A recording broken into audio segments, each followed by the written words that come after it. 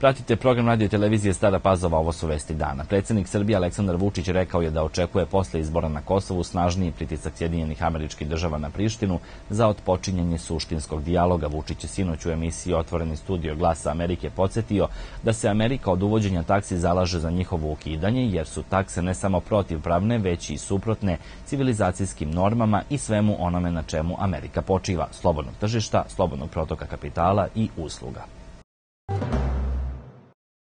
Velikom većinom poslanici Kosovskog parlamenta glasali su za raspuštanje aktualnog saziva Skupštine. Tri datuma figuriraju za održavanje izbora 22. ili 29. septembra, a kao najverovatniji spominje se 6. oktobar.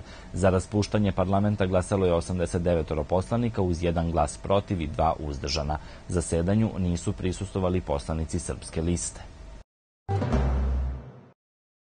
Sindikati i poslodavci nastavili su danas pregovore o povećanju minimalne cene rada za 2020. godinu na drugom sastanku radne grupe Socijalno-ekonomskog saveta na kome je Ministarstvo financija predložilo povećanje od 6 do 10 od 100, što su prihvatili poslodavci, dok sindikati traže rast minimalca za oko 24,5 od 100, rečeno je posle sastanka. Ako bi minimalna cena rada, koja sada iznosi 27.400 dinara, bila povećana za 10 od 100, ona bi iznosila 30.140 dinara, dok sindikati traže da minimalac bude 33.700 dinara.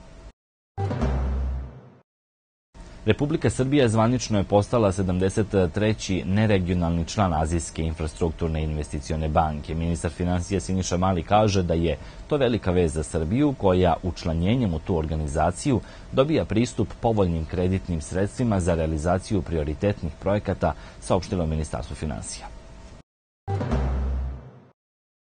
Pripadnici Ministarstva unutrašnjih poslova u Romi uhapsili su 42-godišnje MM i VS i 24-godišnjeg PS zbog postojanja osnova sumnje da su izvršili krivično delo prevara. Sumnja se da su oni u julu ove godine falsifikovali dve lične karte i potvrde o zaposlenju na tuđe imena, na osnovu čega su im radnici jedne banke odobrili kredite u iznosima od 1.300.000 dinara i 2 miliona dinara, koje su podigli u gotovom novcu. Na taj način su, kako se sumnja, banku oštetili za ukupno 3 miliona 300 hiljada dinara, a sebi pribavili protivpravnu imovinsku korist.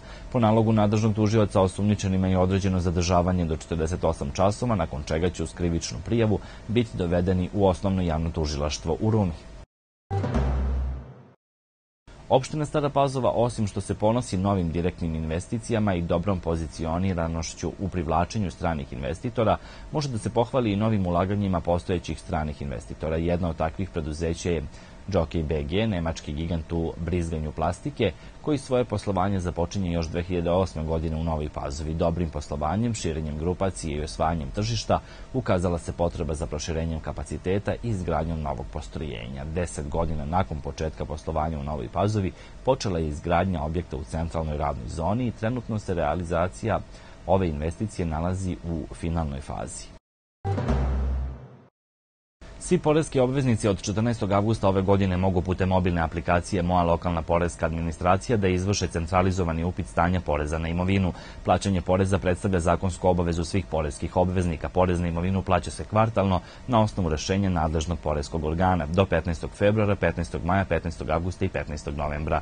Građanima, privredi i državi od ove godine omogućeno je da na klik dođu do informacije o svom porezu na imovinu, da podnesu prijavu za utvrđivanje poreza i da izvrše elektronska plaća plaćanja nastalih obaveza putem mobilne aplikacije Moja lokalna poreska administracija, koja je besplatna i dostupna za Android i iOS korisnike. Podsjetimo, do donošenja rešenja za tekuću godinu porez se plaća akontaciono na bazi prošlogodišnjeg rešenja, a ne plaćanje poreza poreza u zakonskim rokovima povlači kamatu i prinudnu naplatu. Futboleri Partizana večeras igraju protiv norveškog Moldea, prvo od dve utakmice za plasmanu Ligu Evrope. Partizan večerašnji susret igra bez publike zbog kazne, ali je UEFA dozvolila prisustvo deci do 14 godina iz škole futbala sa teritorije cele Srbije.